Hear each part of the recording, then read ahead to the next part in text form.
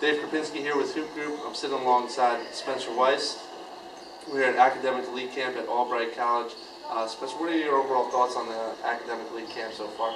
Uh, so far it's been great. Um, you know, the drills in the morning get you going, a lot of skill work, uh, proves your game that you could use in the games later on in the day.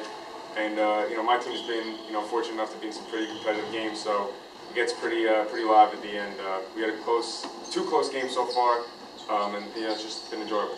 Now, something about Academic Elite Camp that people maybe don't know is you do a lot of stuff off the court too.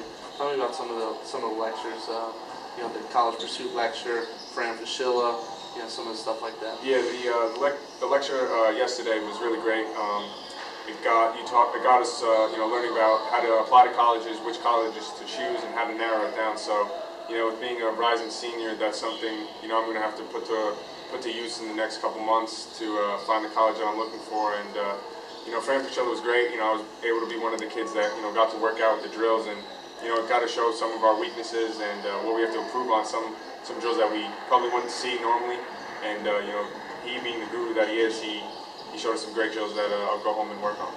Now, over the past couple years, you really dedicated yourself to basketball. You're a baseball player, kind of growing up in middle school and stuff like that. You know, now it's it's purely basketball. You said AAU basketball is a, a year-round thing now. Uh, you know, what does that do for you as a player now, kind of dedicating yourself year-round playing basketball? Uh, well, now that uh, you know I'm just solely focused on basketball, I'm able to really work on my game and uh, get in the weight room more often. Um, I feel that you know being you know six five and having some uh, you know my bones, I feel that you know once I have that first step, I can use my body to you know get to the rim and make plays for other teammates. So just you know fully dedicating myself to the process uh, and basketball, it's just it's enabled me to uh, improve my game overall. Now, kind of in the spring circuit, you know, a lot of coaches maybe didn't know who you were. Um, you know, how is your recruitment kind of developing now?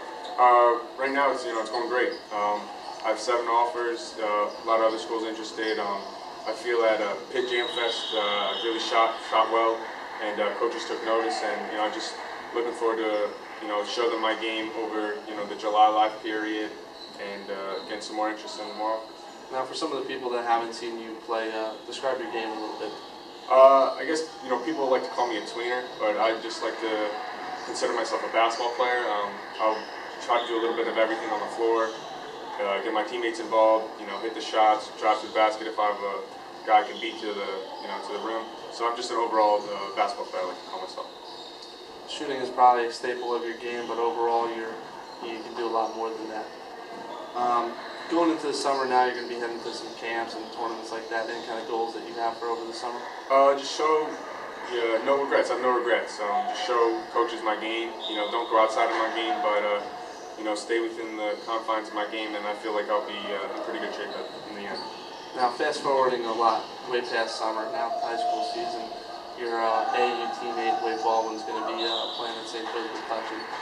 Are you looking forward to him coming out Seton Hall Prep and, uh, and playing you guys? Yeah, definitely. Uh, you know, him, Karl Towns, both Sports U guys, so we want another shot at them. They beat us twice this past year, but you know, um, there won't there'll be blood there'll be bloodshed during that game. I promise you that. A, little, a little, you know, behind the scenes action here. Wade's actually behind the camera right now. You see, he's smiling back there about that.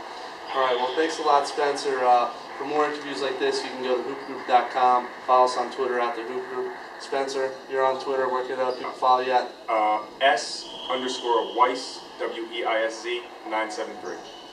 All right. Thank you very much.